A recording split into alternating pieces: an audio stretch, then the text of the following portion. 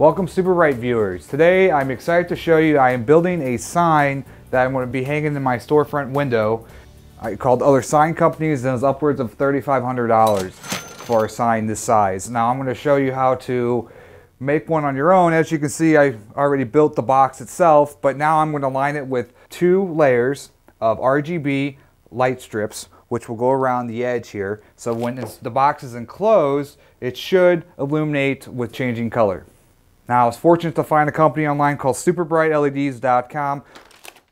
Purchased four light strips here. Now, what's great about these light strips is it doesn't require any soldering. Uh, I'm not one for soldering, but it does come with an LC4 plug and play connector, which with the four strips I bought and this adapter, I will lock this in and then it will go to the controller box. What's great about these light strips is the adhesive backing which will make it easy to stick to the board around the edge. On the site superbrightleds.com they have a wide variety of RGB controller. Uh, this is one I chose to buy was one of these that I will stick on the outside of the box once I have the LED lights all installed inside. One of the other things you're going to need is a power supply converter which will convert to 120 volts to 12 volts for your light strips.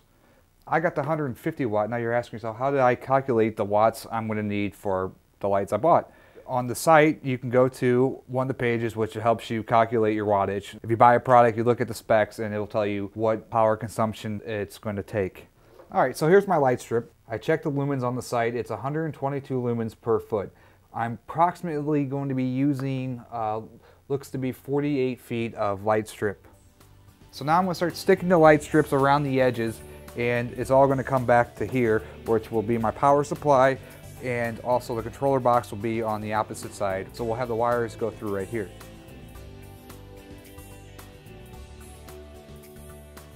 Alright, so so far I've put two light strips on this side and that side. I brought it to that edge. Now with the next two, I'm going to start here. I'm going to go this way and I'm going to end up in that corner. Now once I end up in that corner, I will use the cut lines and I will cut the light strip.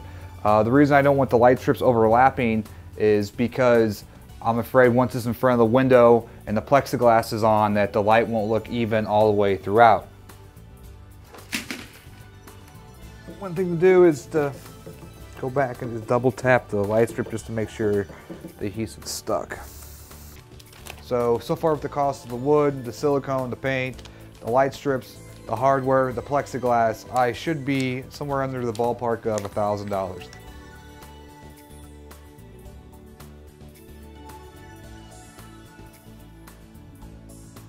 All right, now my light strips are installed. Uh, I'm going to be using my adapter here and I will do the plug and play LC4 connectors here. I will connect these wires and we will test the light strip and see what it looks like. My light strip's installed. Uh, I did cut the light strips over there in the corner. Uh, so I have it two layers evenly going around the edge. Now I got 120 volt power to the power supply, 12 volt to the controller panel here, and let's fire it up and see how it looks.